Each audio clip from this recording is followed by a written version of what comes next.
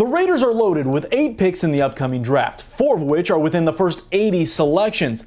Now, General Manager Mike Mayock met with the media. He didn't give too many specifics on what the Silver and Black will be doing with that 17th overall pick, but he did give us some insight on the preparation and the process. Uh, at 17, you're sitting there and you're going, okay, I think the, the board's going to fall a certain way, and how are we going to react? If, if it doesn't fall that way, is there a way to get out? Is there a way to go back? A lot of GMs around the league are making calls right now. Hey, you a willing partner? What do you think? And I've said this before. I think you got to be nimble. You got to be willing to go either way, and as the draft develops, make those decisions. Mayock says those decisions will be a little easier this time around.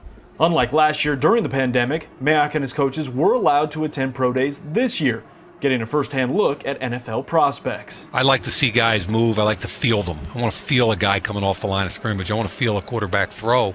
Uh, unfortunately, we didn't get a chance to sit and meet with the kids, which I think is the biggest downside to the whole thing. It's not the same as sitting down with a kid, having dinner with them, having lunch with them, watching tape with them.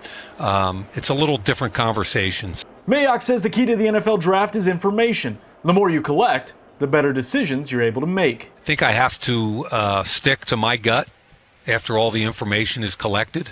Jon and I sit down together and grind it together to come to a consensus. But at the end of the day, uh, the best way I feel good about myself is when I know that I feel good about that kid from A to Z.